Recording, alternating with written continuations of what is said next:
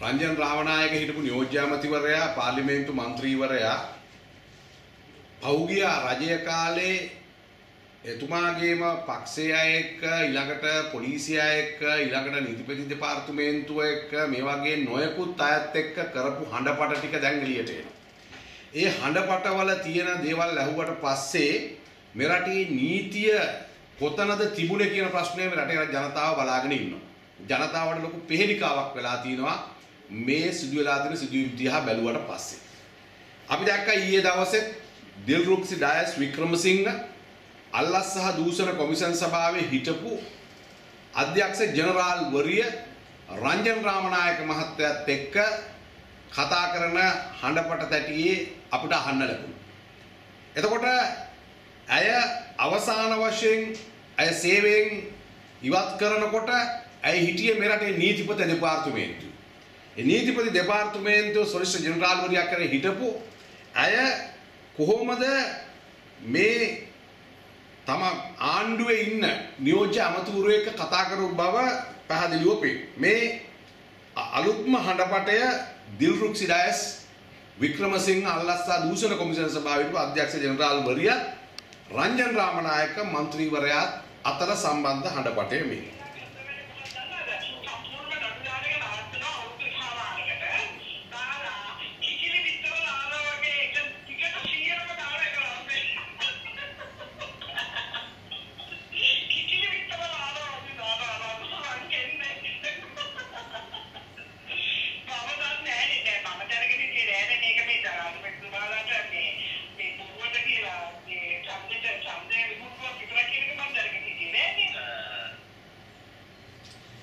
දැන් බොහොම පැහැදිලිව ඇගේ තව හඬපට තියෙනවා.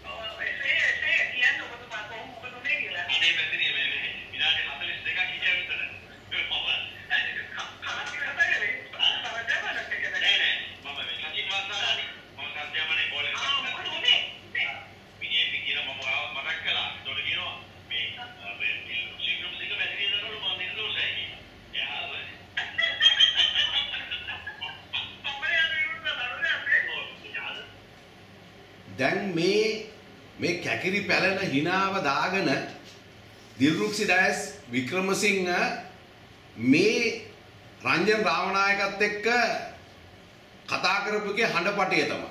මේ දෙයියෝ උඩ ඉඳන් බලලා තමයි මේ හඬපට තැටිගත වෙලා තිබුණේ. ඒ නිසා තමයි රටේ මිනිස්සුන්ට අද මේ අසාධාරණය ඇස් දෙකෙන් පේන්න කන් දෙකෙන් ඇහෙන්න පුළුවන්කම ලැබුණේ. මේ කරපු අසාධාරණ වැඩ ටික. දැන් අපිට පේනවා දිල්රුක්සි ඩයස් කියනවා කිකිලි බිත්තරේ දාන්න වගේ තමයි නඩු දාගෙන දාගෙන දාගෙන යන්නේ කිය. බලන්නකො මේ මේ නෝනා කොච්චර කොච්චර හොඳට වැඩ කරලා තියෙනවද කියලා. මේ නෝනා සම්පූර්ණම කොච්චර හොඳට වැඩ කරලා තියෙනවද කියන එක පැහැදිලිව පේනවා.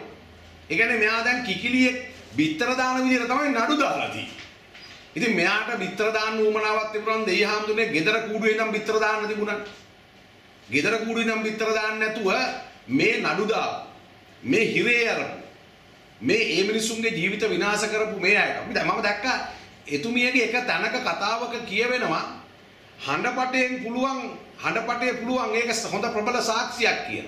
ඊළඟට කියනවා අපි දැක්ක තවත් කාන්තාවක් ගැන මේ මේ හඬපටේ තියෙනවා මේ හඬපටේ අය කතා කරනවා බොහොම පැහැදිලිව රංජන් රාමනායකගේ පෙම්බතියක් ගැන කතා කරනවා. රංජන් රාමනායක පෙම්බතියක් ගැන අය කතා කරනවා මේ හඬපටේ.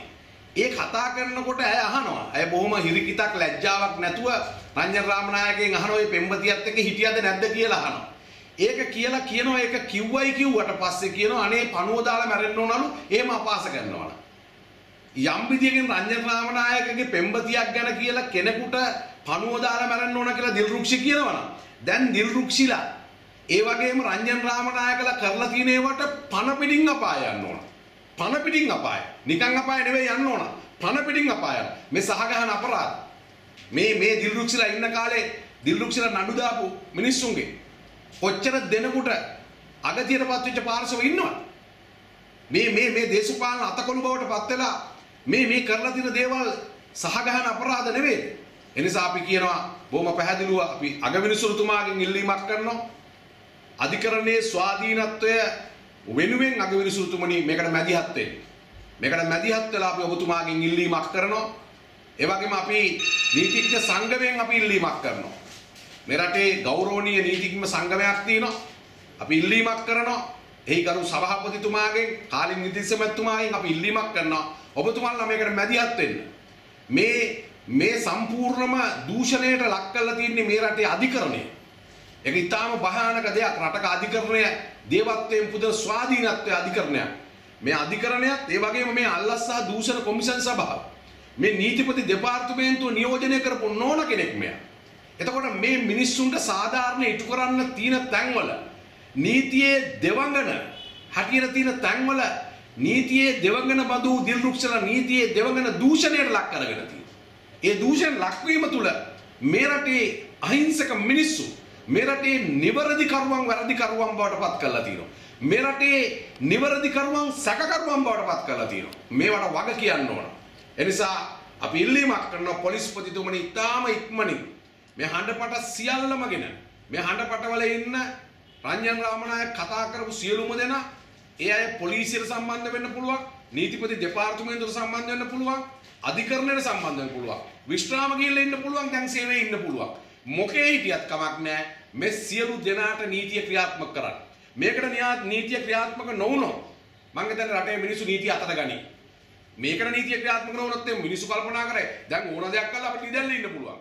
ඒ නිසා බොහොම පැහැදිලිව මේකට නීතිය ක්‍රියාත්මක කරන්න. අද අපි දකින දුමින්ද සිල්වා දැන් අවුරුදු 3 3 මාරකට ආසන්න කාලයක් අර හිරගේ ඇතුලේ ඉන්නවා.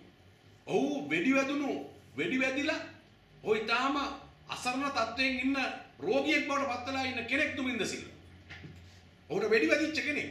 ඔහුගේ ඔළුවේ ශල්ම කර ශල්ල කර්ම ගණනාවක් කරපු කෙනෙක්. අද ඔහු අර හිරගේ ඇතුලේ ඉන්නවා. එතකොට දුමින්ද සිල්වා හිරගේ ඇතුලේ ඉඳගෙන හිරබත් කනකොට හිරබත් ටික කනකොට මේ දුමින්ද සිල්ලාව හිරගෙදෙට්ට යවන්න ඒක දේශපාලන වශයෙන් පාවිච්චි කරපු අය ඉන්නවනම් ඒ අයට මං හිතන්නේ හෙන හත ගන්නවා කියලා තමයි අපිට කියන්න සිද්ධ හෙන හත ගන්න. ඇයි? කවුරු හෝ කවුරු හෝ කෙනෙකුට දේශපාලනික වශයෙන් නම් හිර දඬුවම් ලැබෙන්නේ. දේශපාලනික වශයෙන් නම් ඔවුන්ට වරදට දඬුවම් ලැබෙන්නේ ඒක ඉතාම භයානක තත්ත්වයක්.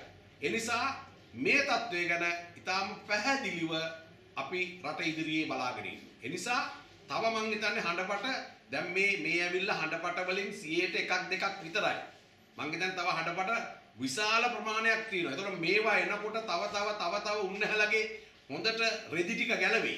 තව තව උන්නහලගේ රෙදි ටික ගැන හොඳට අවබෝධයක් ඇති වෙයි. රෙදි ගලවගෙන ඉතාලම හොඳින් රෙදි ගලවගෙන ඉන්න පුළුවන් තත්ත්වයක් ඇති වෙයි. අන්න ඒ නිසා බොහොම පැහැදිලිව මේ ගැන කියයි.